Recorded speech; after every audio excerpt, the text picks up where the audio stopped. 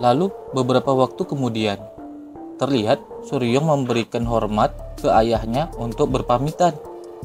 Kemudian Suryong pun beranjak pergi meninggalkan ayahnya. Belum beberapa lama Suryong melangkah, tiba-tiba ayahnya memanggil Suryong. Saat kau sampai di Akademi Ajur Dragon, kakek dari pihak ibumu akan berada di sana. Ucap baik Muhain memberitahukan anaknya. Mendengar itu, Suryong pun menjadi sedikit kaget mengetahuinya. Dia adalah kepala siswa di akademi. Apa? Tidak, kenapa ayah baru memberitahuku sekarang? Ada apa dengan reaksi itu? Apakah terjadi sesuatu? Ucap Suryong juga bertanya kembali ke ayahnya. Sudah lama sejak ibumu dan para tetua mengasingkan diri. Jawab singkat Muhen ke Suryong. Kenapa? Sejak kapan? Tanya lagi Suryong. Setelah ibumu menikah denganku. Jawab Muhen. Ah, maka sudah 30 tahun, benar kan? Lanjut tanya Suryong. Benar, sahut Muhen kembali. Jika sudah selama itu, dia seharusnya menjadi orang lain. Mengapa kamu memanggilnya lebih tua? Ucap Suryong ke ayahnya dengan sedikit kesal. Bagaimana kau bersikap begitu tidak sopan? Sahut Mohen dengan sedikit merasa canggung ke anaknya itu. Lagi pula, aku tidak tahu bagaimana dia akan melihatmu. Kupikir dia akan mencintaimu karena kau mirip ibumu. Atau, atau, sahut Suryong memotong ucapan ayahnya itu. Dia mungkin mencoba karena kau mirip denganku. Lanjut jelas Mohen ke Suryong. Mendengar penjelasan ayahnya itu, ekspresi Suryong menjadi sangat terkejut, tak menyangka. Bagaimanapun, berhati-hatilah. Jika kau melihat seorang pria dengan nama Mike Gukryum, pertama-tama larilah. Ucap lagi Moen memperingati anaknya. Aku akan menghentikan ucapanmu di sana. Sahut juga Suryong ke ayahnya, sembari menutup telinganya, tidak mau mendengarkan ucapan ayahnya itu. Akankah dia benar-benar membunuh cucunya? Gumam Suryong memikirkan perkataan ayahnya tadi tentang kakeknya. Atau kau ingin aku pergi bersamamu? Jika kita pergi bersama, dia tidak akan membunuhmu terlebih dahulu, sehingga setidaknya kamu bisa melarikan diri. Ucap lagi Muhen, sangat mengkhawatirkan Suryong. Tenang ayah, aku sudah memutuskan. Aku akan mengurus konsekuensinya sampai aku kembali. Tolong jaga baik-baik dirimu. Ucap juga Suryong ke ayahnya dengan sangat lembut, sembari memegang tangan ayahnya itu. Lalu, dengan perlahan, Suryong pun melepaskan pegangannya dari tangan ayahnya. Sejenak, Mohen terdiam sembari melihat kepergian Suryong. Tak lama, seketika Mohen berteriak memberikan pesan ke anaknya. Kirim surat sekali setiap bulan.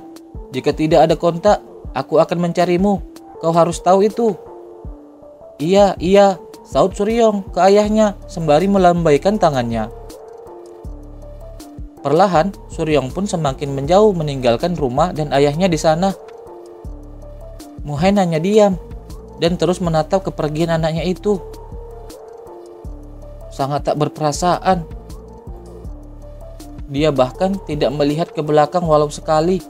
Aku ingin dia hidup dalam pelukanku sampai aku mati, tapi sekarang tidak perlu. Itu sebabnya saya mengirimnya, karena dia mirip denganmu. Dia akan membuat banyak wanita menangis. Akankah dia? Dia mungkin akan melakukannya. Ucap sendiri Muhen, sembari membayangkan istrinya ada di sampingnya. Lalu ia pun tertawa kecil, mengingat kelakuan istrinya semasa muda. Apa aku harus mengikutinya sekarang? Ucap Mohen, bertanya ke bayangan istrinya. Dia adalah satu-satunya hadiah yang ditinggalkan istriku sebelum ia meninggal. Setelah mengejarnya, dia kuat dan sering menyebabkan masalah, tapi dia adalah darah dagingku yang akan kupertaruhkan nyawaku jika itu untuk mengobati penyakitnya. Pikir Muhen dalam benaknya, mengingat betapa sayangnya dia ke Suryong. Jika saya mengikutinya diam-diam dan melihatnya dari jauh, Lanjut ucap Muhen ke bayangan istrinya yang seketika terhenti.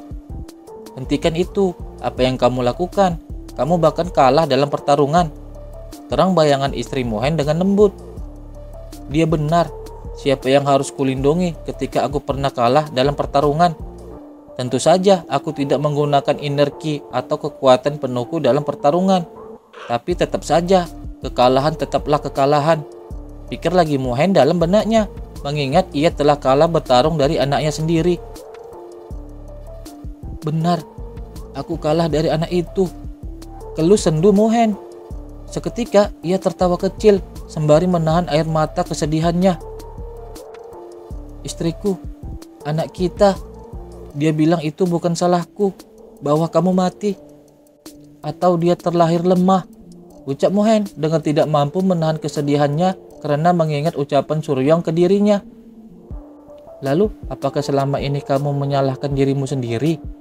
Tanya bayangan sang istri sembari bersandar di bahu Mohen. Tentu saja, jika kamu tidak bertemu denganku, kamu tidak akan pergi begitu cepat. Dan anak itu juga. Seketika, jawaban Muhen itu terhenti karena disambung dengan ucapan istrinya. Tidak akan lahir. Apakah kamu serius? Muhen pun kaget mendengar ucapan istrinya yang seperti itu.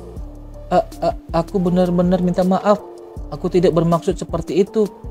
Sahut Mohen dengan gugup kebayangan istrinya itu. Aku tahu perasaanmu. Tapi Suryong sekarang sudah dewasa. Sekarang suruh dia pergi untuk melakukan apa yang ingin dia lakukan. Terang juga bayangan sang istri ke Muhen. Yakbim, ucap Muhen memanggil istrinya. Namun, di sana tidak ada siapa pun. Baik Muhen hanya berbicara dengan kenangan yang ada di dalam hatinya. Kemudian, baik Muhen merasa hatinya sudah merasa lega ia berpikir untuk mencapai apa yang selama ini sudah ia tinggalkan yang tidak sempat ia raih. Ternyata ia berencana untuk memperdalam ilmu bela dirinya agar menjadi sempurna. Lalu terlihat dengan pedang di tangannya, baik Mohen mulai melakukan pelatihannya saat itu juga. Dengan tatapan mata yang tajam, Mohen mulai melatih ilmu pedang yang belum sempat ia pelajari semasa hidupnya. Muhain mulai melakukan gerakan teknik pedang yang sangat indah. Pergerakannya lembut namun begitu cepat dan kuat. Kemudian ia berhenti sejenak. Lalu ia menutup matanya sembari melakukan pergerakan teknik pedangnya. Ia juga mengingat kenangan semasa ia bertemu istrinya untuk pertama kali. Mengenang hal itu, Muhain pun terlihat tersenyum sembari masih melakukan pelatihannya. Apakah Anda Pangeran Gio? Hmm, menurutku kau tidak setampan itu. Siapa Yakbim? Kamu siapa? Kenapa kamu tiba-tiba muncul dan bermasalah tentang wajahku? Sahut baik Mohen bertanya, yang kala itu ia sedang nongkrong bareng teman-temannya. Tapi tetap saja, sejak kita bertemu seperti ini, maukah kau membelikanku minuman? Lanjut ucap Yakbim ke Baik Mohen. Apa? Baik Mohen pun bingung melihat tingkah Yakbim kala itu. Itulah sekilas ingatan Bek Muhen sewaktu berjumpa dengan istrinya untuk pertama kali. Dia terlihat sangat lemah, seperti dia akan rusak jika kamu menyentuhnya sedikit saja. Dia mengangkat pandangannya dengan berani dan meminta minum. Tapi entah bagaimana, aku jatuh cinta dengan wanita yang sepertinya hancur jika Anda sedikit menyentuhnya. Yakbim, menikahlah denganku.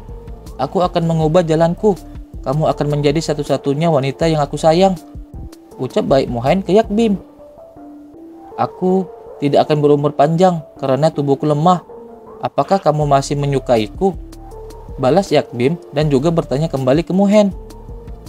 Aku tidak peduli. Terang Muhen menjawab ke Yakbim. Lalu setelah Muhen melamar Yakbim, Muhen dan Yakbim pun bersama-sama menghadap ayah Yakbim. Tetapi ayah Yakbim sangat keras kepala dan akhirnya ayah Yakbim tidak merestui hubungan Muhen dengan anak perempuannya. Saat itu, baik Mohen berhasil bertahan dari ketidaksukaan ayah istrinya. Kemudian, baik Mohen berjanji akan membuat istrinya bahagia bersamanya dan dia juga berjanji akan berusaha menyembuhkan penyakit yang diderita istrinya. Lalu, Yakbim dan Mohen pergi bersama menjalin hubungan rumah tangganya dan meninggalkan ayah Yakbim yang tidak merestui hubungan mereka.